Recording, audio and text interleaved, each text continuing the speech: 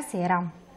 Sciopero questa mattina del Samorante. Circa un terzo degli studenti sono rimasti fuori per protestare contro i termosifoni che non funzionano, la puzza intorno all'edificio e la mancata tolleranza da parte della preside Rita Turrini. Il capo d'istituto, reggente nel corrente anno, ha ribadito che si tratta di richieste già trasmesse alla provincia, che ha la competenza per la struttura, e di una certa esagerazione da parte dei ragazzi per le altre istanze. Dopo i grandi risultati della vendita del cappellino Il Grande Cuore di Sassuolo, il cui ricavato va alle popolazioni della Bassa colpite dall'alluvione, la vendita sarà effettuata anche negli uffici dell'URP di Piazza Garibaldi. Ad organizzare l'iniziativa l'associazione Sassolle Sempre Festa, 10 euro il prezzo. L'assessore Claudia Severi condanna l'aumento di 10 centesimi del biglietto extraurbano di autobus e treno. La decisione di Seta, spiega l'assessore, oltre a risultare odiosa per i pendolari, è paradossale, dato che l'azienda rinuncia giornalmente agli introiti della ferrovia, non avendo adeguato le obliteratrici oggi non funzionanti. Chiediamo la sospensione dell'aumento e proposte alternative.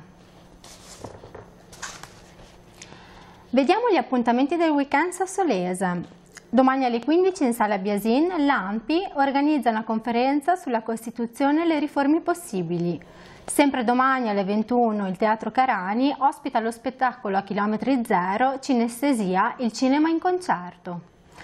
Ancora domani dalle 17.30 alle 19.30 sarà in città Raffaella Fico, testimonial del primo compleanno del negozio Fruscio. Domenica infine l'associazione Artemisia terrà un caffè letterario alle ore 16.30 in Paggeria Arte. Passiamo allo sport.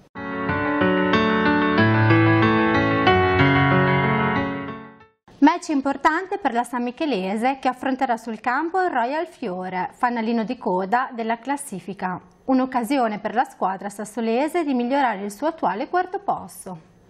Il Sassuolo Calcio si sta preparando per il match di domenica con l'Inter, che all'andata lo aveva visto soccombere pesantemente 7-0 a Reggio Emilia. Oggi per i Noroverdi ha parlato Pegolo. Sentiamo le sue parole. È stata una partita poi un po' strana, dove è girato anche tutto, tutto storto, quindi è già stata dimenticata. E vengono da risultati non positivi, quindi giocano in casa e sanno che eh, una vittoria li può riprendere, quindi sicuramente daranno il 100%, però d'altra parte anche noi veniamo da dei risultati che non sono stati positivi e quindi dobbiamo metterci ancora di più per eh, uscire da questa situazione. Il giorno d'andata è stato un po' strano perché le partite che magari su, sulla carta dove erano proibitive eh, siamo usciti con punti importanti, quindi speriamo sia di buon auspicio anche questa volta. E, niente, ripeto, noi andiamo lì per fare una partita di sacrificio e compatta, poi sarà il campo come sempre che parlerà.